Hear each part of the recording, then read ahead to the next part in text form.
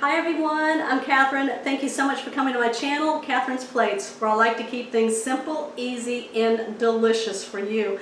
Today, I'm pulling out of my pantry some brownie mixes, and I'm going to turn these into some amazingly delicious cookies, okay? Have fun with this one. Okay, nice fudgy centers and crispy edges. Brownie mix cookies. Okay, if you're new to my channel, hit that subscribe button down below and that bell notification so you'll always know when I put out simple, easy, and delicious meals and desserts for you. All right, y'all, go in your pantry, pull out your brownie mix boxes, and let's make some cookies.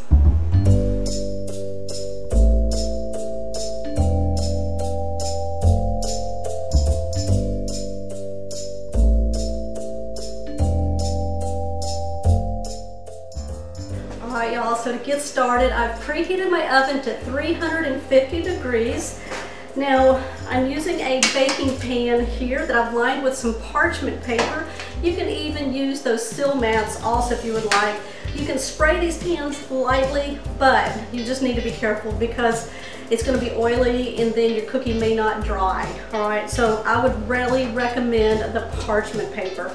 I'm using a one inch scoop today now, I'm going to be using my electric hand mixer and I'm using the large flat beaters today, not the very thin ones, you know, like the whisk ones, because that won't go through the batter. It's going to be a thick batter. Now, you can also use your stand mixer if you'd like, but just use the paddle. Don't use the whisk, the wire whisk ones. All right, so today I'm going to be starting off with Funfetti. Now it comes with the cake mix here that I'm going to use in just one bowl. We're going to make this. So we pour all of this in.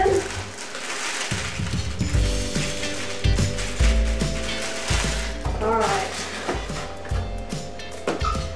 Now in the Funfetti box here came a little package with the cool Funfettis, right? Once we scoop the cookies out, that's when this is to come into it. Y'all, I've got my brownie mix into a large bowl here. To that, I'm to go ahead now and add my five tablespoons of melted butter. I'm to add one tablespoon of water, two eggs, and now I've got about half a cup of flour, and this will really help pull it together. All right, I'm gonna go ahead now and use my electric hand mixer to mix this very well. Now you can also use a wooden spoon if you would like, or like I said, your um, stand mixer. Make sure you start on the low setting so you don't have the flour and the brownie mix come back at you, okay? Start at the low setting and then once it starts mixing, you can ramp it up a little bit.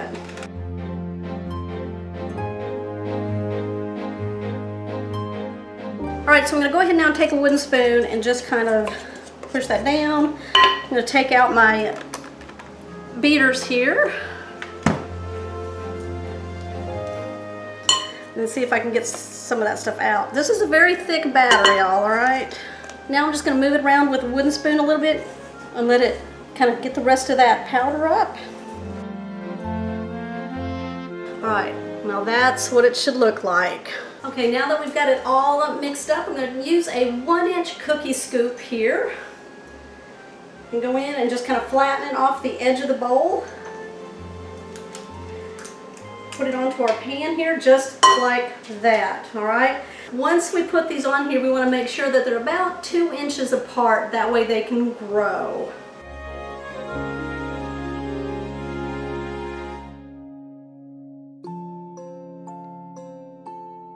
All right, y'all, so I've got my cookies ready to go. Now, what I'm doing is I got a little piece of parchment paper here that I'm just gonna lay on each ball of cookie dough. And then I'm just taking a bottom of the glass and just smashing it down just a little bit. What this is gonna do is help the sprinkles stick to our cookies and not roll off, all right? And the parchment paper helps prevent the cookie from sticking to the bottom of our glass. So don't go too flat, all right? Just about a quarter of an inch. All right, so I've got a bowl here. I'm gonna go ahead and put my sprinkles in there for easy handling. I'm just gonna open up the package here. Look how pretty those are right there. All right, I'm just gonna take a few and kind of just sprinkle them on my cookie, just like that. You know, you can make these any time. You don't need a party, you don't need a holiday. Right now is a good time to make these, y'all.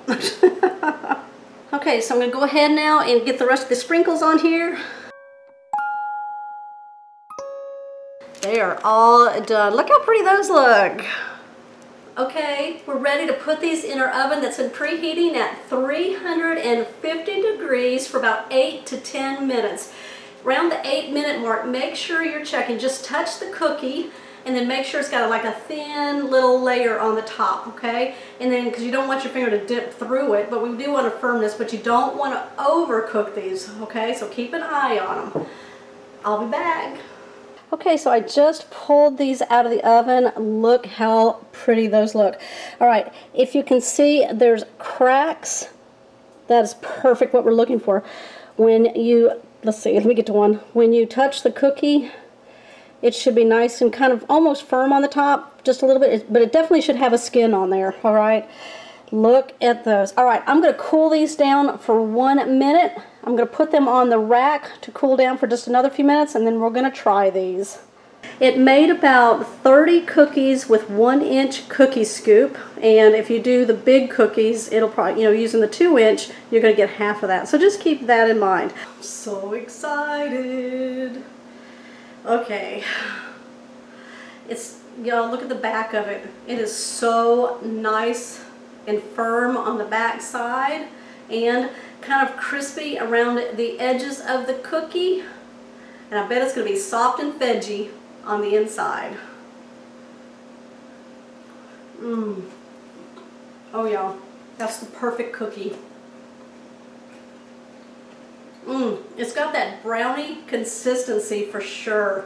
Oh, it's so delicious. That's why a few of these have already left before I was able to come over here and show y'all. All right, y'all.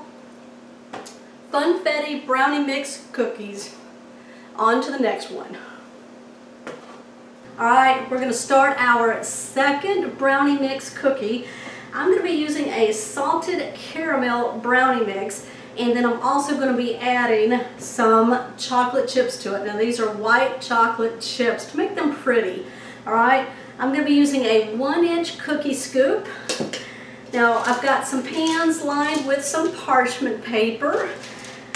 My oven is preheated at 350 degrees. So we're going to go ahead and open our box mix. Now when you're using brownie mix from a box, you're looking for anywhere between 18 to 19 ounce box, all right? And this one here is 18.4 ounces. All right, so in my salted caramel brownie mix box, there came a package of brownie mix that I put into a large bowl right here. And then it also came with a caramel package, and I'm going to show you what we're going to do with that here in just a minute. Now to my dry brownie mix, I'm going to add half a cup of all-purpose flour, five tablespoons of melted butter, one tablespoon of water, and then two eggs.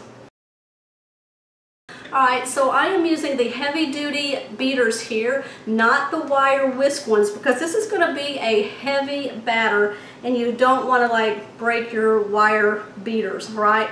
If you're using a stand mixer, the same process, alright? Use your paddle. Use the paddle and not your wire whisk, okay? To help get through the batter here. All right, I'm going to go ahead and you want to start slow just to kind of get the flour and everything incorporated and then you can ramp it up. Then we're going to finish it off with a wooden spoon and our chocolate chips to get those incorporated in there really good. All right, let's go. All right, now, you know, it might fight you a little bit and that's fine. Just stop it at some point and then we're going to finish mixing it with a wooden spoon while we add our chocolate chips. Now I've got about one cup here. All right, there we go. All right, using our one inch cookie scoop, I'm gonna go in, I'm gonna grab some, I'm gonna pull it along the side of the bowl and just scrape off at the edge. And then I'm just going to place it onto my parchment lined pan here. Now give them some room. We're gonna need about two inches per cookie.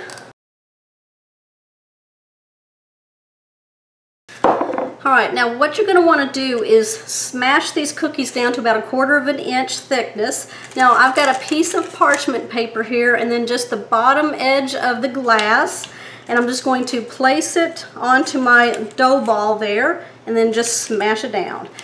Now using the parchment paper will help keep the dough from sticking to the bottom of your glass. Now I've got my caramel packet here and what I'm going to do is I'm just going to squish it around for about 10 seconds. We're going to open it up and then we're going to squeeze a little bit onto each cookie. Give it a nice swirl. I'm just going to cut off the tip. I'm just going to dollop it on each cookie.